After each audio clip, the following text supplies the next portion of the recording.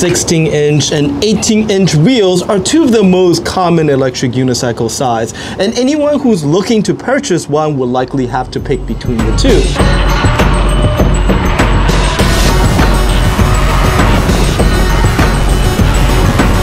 recommendations usually talk about things like convenience, torque, or agilities, and similar things. But this week, we're going to take a much deeper dive into what it means to ride an electric unicycle.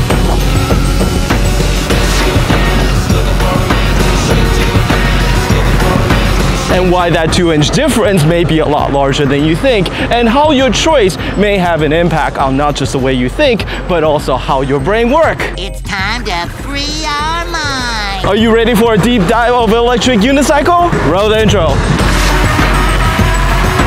Like and subscribe if you enjoyed this video and help spread the uni gospel.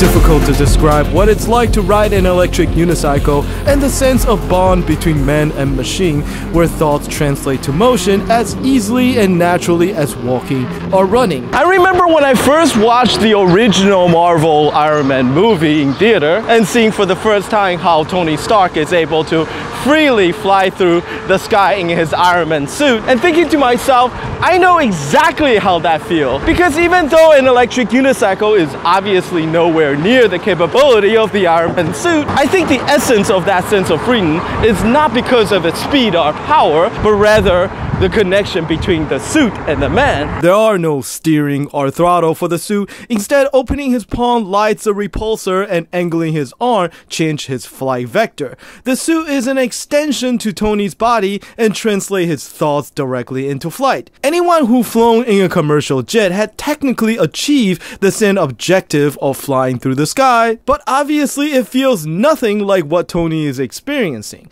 You're not free, you're stuck in economy, squished between other sweaty passenger on a 15-hour transatlantic. Even the pilot is simply going through a set of standard operating procedures to ensure that the flying machine carrying everyone to its destination do so safely and on time.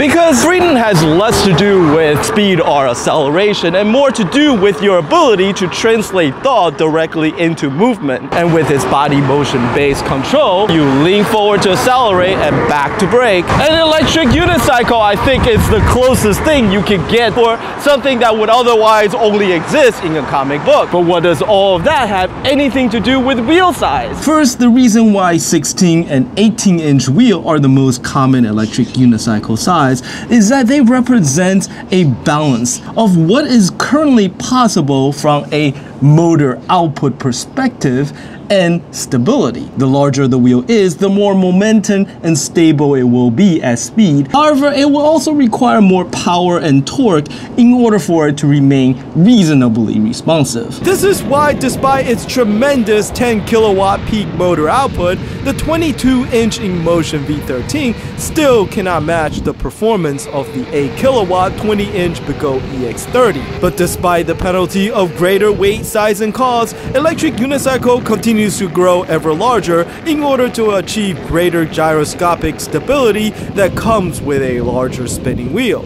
And with many of the new wheels now well past the 100 pound and $4,000 mark, some in the EUC community begin to question the necessity of such access. And I'm gonna let you in on a little secret that few regular riders like to talk about, which is that electric unicycle are not stable, period. Seems obvious enough since well, you know, it only got a single wheel. And I'm just as guilty of this myself of throwing around the turn stability in relativistic turn when it comes to my own electric unicycle reviews. Like, oh, how the 22 inch V13 is so much more stable as compared to the 16 inch Begode T4. But the truth is that when it comes to electric unicycle, stability is an illusion. On a car, the only reason you have to steer is to avoid hitting something. Seriously, Short of that, as long as your tire are properly aligned, you can basically just let go of the steering wheel, put it on cruise control, and it will happily continue forward at the same speed until you basically run out of gas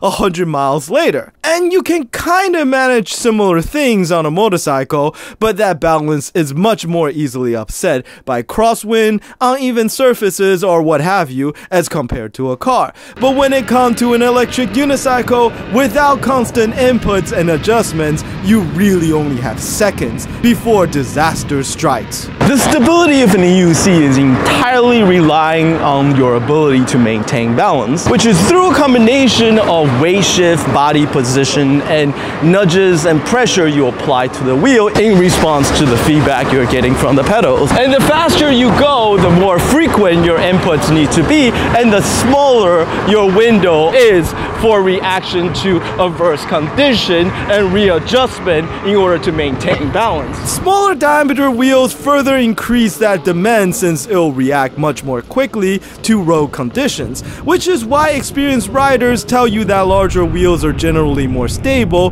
but over time as your skill increases and the bond with your wheel deepen, as long as you're able to keep up with the increased demand, a 16-inch electric unicycle isn't any less stable than an 18. It simply requires a faster brain. Which is something that I regularly experience whenever I switch from an 18 to a 16 inch wheel. It always feels unstable and sketchy in the beginning, but as I slowly acclimate and my brain beginning to catch up, the ability increases and I swear to God, time slows down when I ride.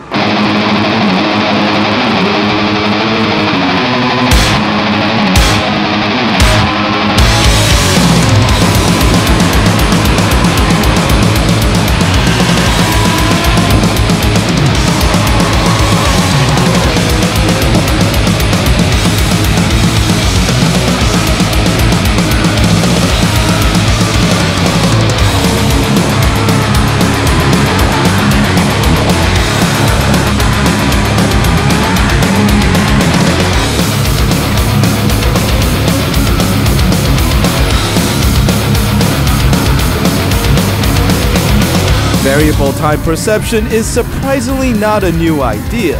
The concept of specious present, which describes the time duration, where a state of consciousness is experienced when as far back as 1882 by the philosopher E.R. Clay and is very much subjective and varies between individuals. A few years ago, I happened to find myself waiting for a friend at an internet cafe, and I saw a bunch of kids, probably no more than 12, 13 years old, intently playing some kind of military first person shooter. With nothing else to do, I decided to settle down and check out what these kids are actually doing. And I remember seeing this little kid who was so young that he was barely reaching over the keyboard to control his character, and he was running full clip parallel to this head high wall. And he would jump, and as the head of his character cleared the top of the wall, he would zoom in with his sniper rifle, spot an enemy player, pop a headshot, all before he land. He has less than half a second to do all of this, but somehow was scoring kill one after another. The timing window was so small that I was barely registering what I was seeing. Meanwhile, this 12 year old kid was processing, predicting, and reacting with a level of precision that I just could not fathom. Now, aside from deciding that I would never play an online shooter again, knowing that I will probably just get destroyed by a a little kid. I also have been thinking about how he was able to react so quickly, and my personal theory are that since his digital avatar is unencumbered by the limitation of real world physics and body mechanics, the player is able to, as a matter of fact, they have to speed up their reaction time in order to stay competitive. Now, I'm not saying that the brain of this little kid is somehow able to process at a superhuman speed, but through practice and pattern recognition, he's able to register, react, and execute a complex sequence of tasks like a reflex. And comparing an 18-inch electric unicycle to a 16-inch one is like comparing Street Fighter to Street Fighter Turbo. And with the added speed and torque from higher voltage, the difference in demand for faster reaction time is even greater. And no, not everyone has to speed run a Super Mario level, and you can slow down and take your time especially if you're just learning how to ride an electric unicycle, but relatively speaking, at the same speed. Even at 5 miles an hour, a larger diameter wheel will be slower to react, and from the perspective of someone who's acclimated to a smaller wheel, it's going to feel laggy by comparison. This is why a smaller diameter wheel is generally easier to learn now because it's faster reaction time. It's providing that feedback to you quicker, which is something very helpful for someone who's just starting starting to learn how to read and control a wheel. However, it doesn't mean that everyone should start with a 16 inch wheel because you will eventually get over the hump of initially learning how to ride and you want in the end a wheel that aligns with what it is you're looking for. If you enjoy the slow chill ride,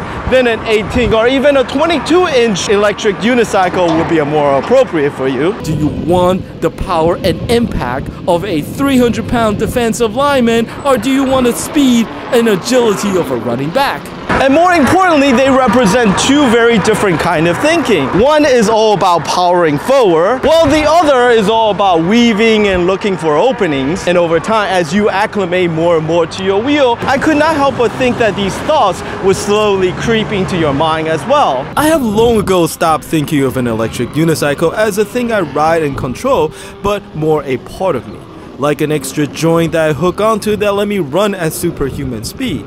And I think we're just starting to scratch at what it means for us to be able to augment our mobility this way. Rolf Pfeifer and Raj Bongard, in their book How the Body Shaped the Way We Think argue that the kind of thoughts we form very much has to do with the capability and limitation of our bodies, and pushing their theory further, it would also mean that by changing and extending our physical capabilities, it also changes how we think not unreasonable since I think most of us by now recognize how our ubiquitous use of smartphone had fundamentally changed not just the way we communicate but also how we think. I can barely remember basic informations like my best friend's phone number and regularly rely on Google search for not just outside facts, but also my personal history via Google Photos and timelines. And it is in the context of that man-machine mind meld where a 2-inch difference become much more significant, and also why it never quite felt right for me to simply say that an 18 and 16 inch wheel rides differently.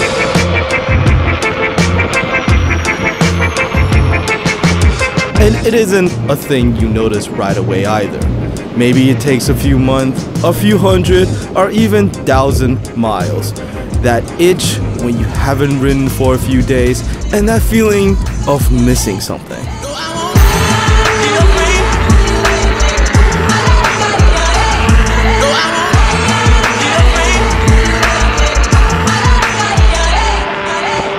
What size electric unicycle did you choose and what did you think of your choice? Share your experience in the comment section below. And you know what? Once again, I ramble on too long and somehow managed to waste another 15 minutes of your life, but I hope you enjoyed it. Shout out to my supporter on Patreon. Please check out the link in the video description below if you enjoy and like to support my work.